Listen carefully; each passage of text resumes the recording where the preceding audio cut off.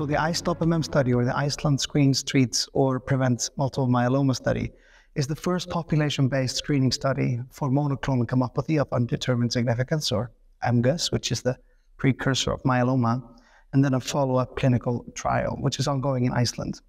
So uh, the objective of the study is to see whether we can use screening to implement early treatment in myeloma and hopefully improve outcomes.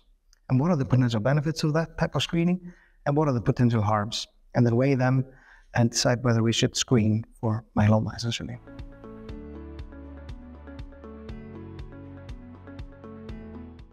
So uh, during the conduction of the trial, we have identified uh, around 3,700 people or so with uh, monoclonal gammopathy.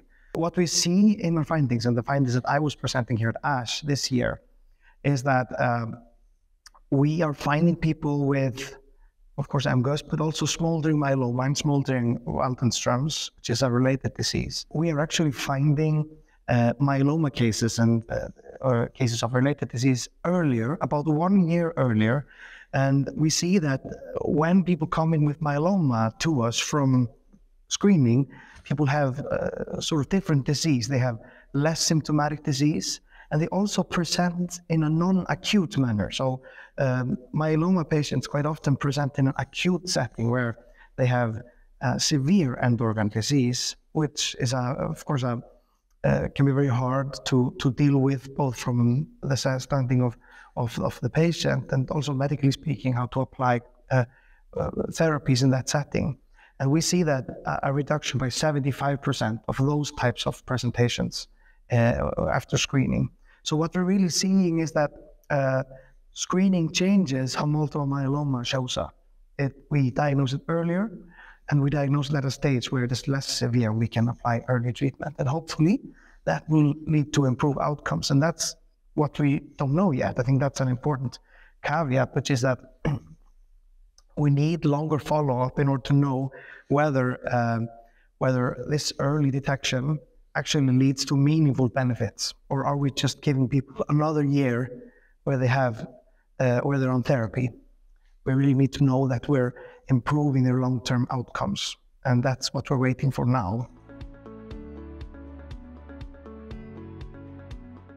It shows that screening is feasible. We did it, and it really changes how myeloma shows up uh, clinically. And we hope that this will also lead to improved outcomes uh, but we haven't seen that yet. We need a longer time for that. And then there's the question of whether it's um, uh, worth it to do this. Uh, that's something that we haven't seen yet. And when I say worth it, I'm talking from an economical and, and, and resource utilization standpoint. We know how healthcare systems are strained as it is. So it's very important that we know that there is significant benefit and it's worth it to do the screening because screening is, a, of course, a very big sort of um, intervention in lives of many people.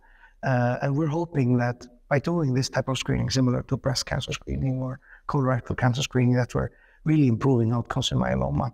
And I think our data is promising, but it's not enough. We need more follow up and, and need to know more about how this really impacts the outcomes.